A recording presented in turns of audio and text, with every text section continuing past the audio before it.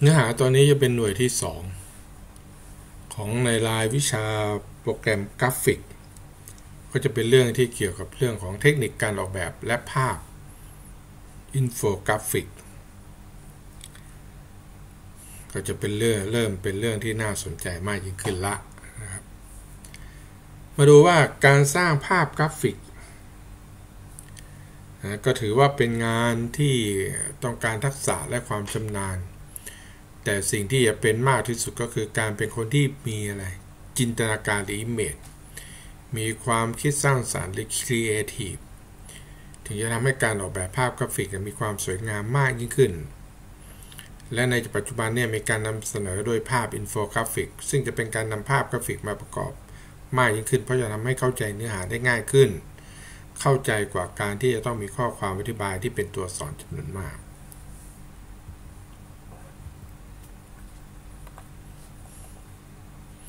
เทคนิคการออกแบบภาพกราฟิก เราจะต้องนะหลักการเทคนิคในการออกแบบภาพกราฟิกเนี่ยหรือเราเรียกว่า define design กราฟิกก็นับเป็นงานที่มีความละเอียดอ่อนนะในส่วนต่างๆ การถ่ายทอดศิลปะผ่านเครื่องมือการทำงานที่เรียกว่าคอมพิวเตอร์ ซึ่งจะสามารถเห็นงานกราฟิกได้ทั่วทุกมุมทั่วโลก ไม่ว่าจะเป็นงานกราฟิก ออกแบบสื่อสิ่งพิมพ์ กราฟิกรูปแบบของภาพเคลื่อนไหวกราฟิกในส่วนของเว็บไซต์แบนเนอร์โบรชัวร์ต่างๆ แต่งานกราฟิกที่มีคุณค่าสื่อความหมายนั้นจะต้องมีคุณสมบัติใดบ้าง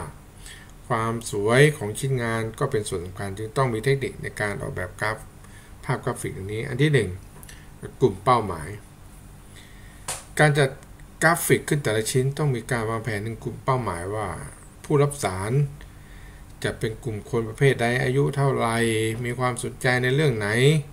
ถึงจะสามารถเข้าใจในสิ่งที่เราสื่อสารออกไปผ่านรูปภาพตัวหนังสืออันที่ 2 สัญลักษณ์ในการสื่อความหมายหรือ symbol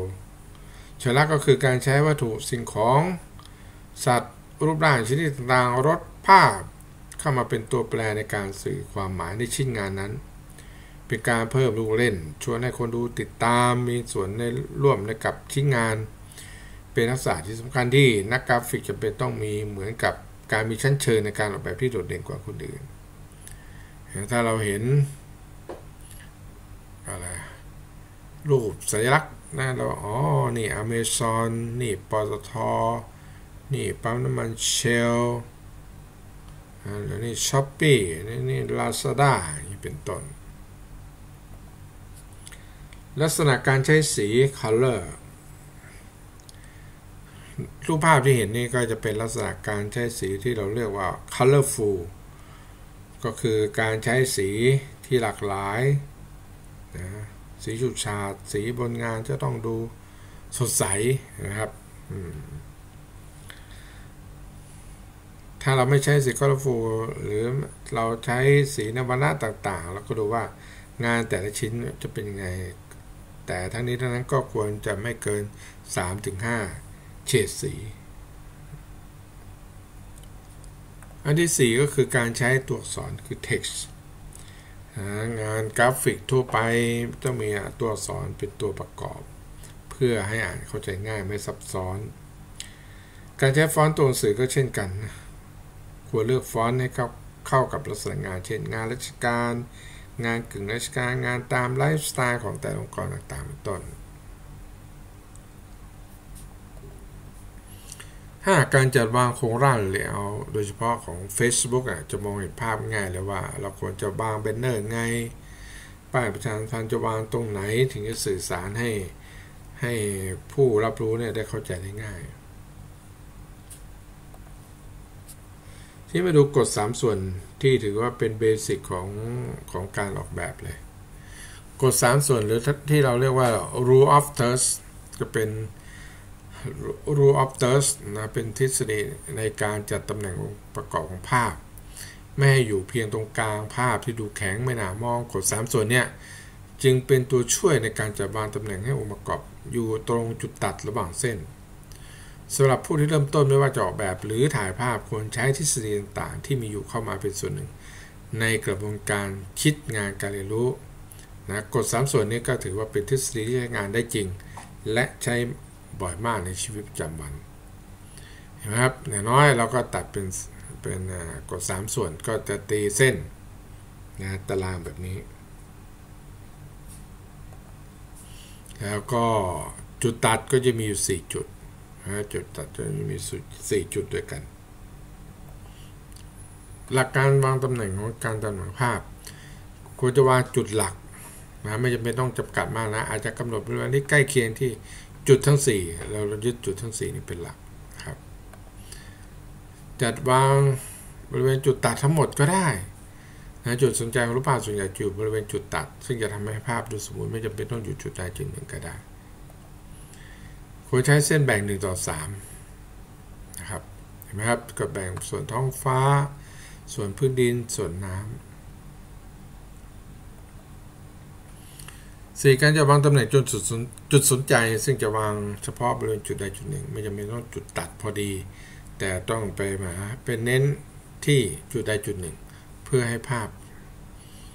สวยงามและเป็นจุดสนใจมากยิ่งขึ้น นี้มาดูความหมายของภาพอินโฟกราฟิก ภาพอินโฟกราฟิกเนี่ย ก็จะหมายถึง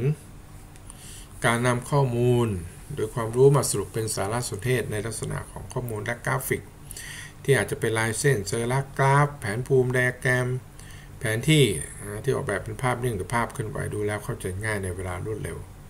และชัดเจนสามารถสื่อให้ผู้ชมเข้าใจความหมายของข้อมูลทั้งหมด ได้โดยจะเป็นไม่จำเป็นต้องมีผู้นำเสนอมาช่วยขยายความเข้าใจอีกนี่ตัวอย่างกราฟิกเห็นไหมมีไม่จำเป็นต้องมีอะไรข้อความมากมายเหมือนเหมือนเมื่อก่อนละ เราใช้สื่อสั้นๆง่ายๆ แค่นี้ก็ได้ละทีนี้มาดูความหมายประเภทของภาพกราฟิกอินโฟกราฟิกหนึ่งเน้นการให้ข้อมูลก็คือ information infographic ยกตัวอย่างเช่น การป้องกันโรคโควิด หรือขั้นตอนการรับสมัครเรียน เป็นต้นและบรรยายมาเป็นภาพกราฟิก ซึ่งจะง่ายกว่าการเขียนบทความและสามารถสื่อสารได้เป็นอย่างดีนะครับ มีรูปประกอบ มีข้อความสั้นๆล้างน้ำสะอาดฟอกบู ถูมือล้างน้ำสะอาดเช็คมือ เช็ดมือให้เนี่ยแห้งปิดน้ำด้วยเห็นไหมครับง่ายๆให้สองข้อมูลเชิงสถิตินะครับ ถ้าจะมีข้อความเป็นตาราง แต่ถ้าเราทำเป็นอินโฟกราฟิกก็จะดูง่ายขึ้น เข้าใจง่ายขึ้น เรียงลำดับเวลานะหรือ timeline infographic นะครับแล้วก็จะบอกลำดับเลยมีรูปภาพประกอบ แค่นี้เองไม่ต้องอธิบายมากเลยนะว่า 1G เป็นไง 2G เป็นไงพอพัฒนา 3G เมื่อไหร่ 4G เมื่อไหร่ 5G เมื่อไหร่ มีรูปภาพประกอบ อันที่4 แสดงกระบวนการทำงานหรือ process infographic คือขั้นตอนในการทำงานว่า เช่นของเว็บไซต์ Job Indie สมัครสมาชิกทำอย่างไร ขั้นตอนที่ 2 ก็สร้างโพสต์ ขั้นตอนที่ 3 ก็รอการตอบรับในเรื่องของการสมัครงานหรือการแสดงความรู้สามารถเพื่อให้ทุกคนได้เห็นแล้วเราจะมาติดต่อเรา เพื่อเราจะได้มีรายได้ระหว่างเรียน หรือระหว่างการทำงาน อันที่ 5 เปรียบเทียบข้อมูล comparison infographic นะครับเปรียบเทียบข้อมูลว่าเหมือนกับเปรียบเทียบ อันนี้ในตัวอย่างก็เปรียบเทียบของยี่ห้อของอาหารฟาสต์ฟู้ดนะความเร็วในการบริการจะอยู่ในกี่นาทีครับก็มองภาพชัดไหมครับ อีกอันนึงก็จะเป็นเรื่องของการเรียงลำดับความสำคัญก็จะอาจจะทำเป็นเชิง พีระมิดนะให้เราเห็นจุดสูงสุด อยู่ตรงไหนเรื่องอะไรรองลงมาเรื่องอะไรแล้วเป็นฐานรากในเรื่องอะไร นี่เห็นไหมก็จะมองเห็นว่าประโยชน์ของภาพอินโฟกราฟิกก็จะมีประโยชน์แบบนี้เราสามารถใช้ในการสื่อสารได้ง่าย เข้าใจง่าย ก็หน่วยที่ 2 ก็เป็นนี้อย่าลืมไปดูแบบฝึกหัดท้ายบทนะก็จะมีทั้งในเรื่องของ ช้อยมีเรื่องของเติมคำมีเรื่องของจับคู่ มีเรื่องของกิจกรรมเสนอแนะ มีเรื่องของใบงาน เพื่อที่จะเป็นการฝึกทักษะให้เรามีความรู้ความสามารถดียิ่งขึ้น ก็จบหน่วยที่ 2 เพลนนี้ แล้วต่อไปก็จะเป็นหน่วยที่ 3 นะครับ สวัสดีครับ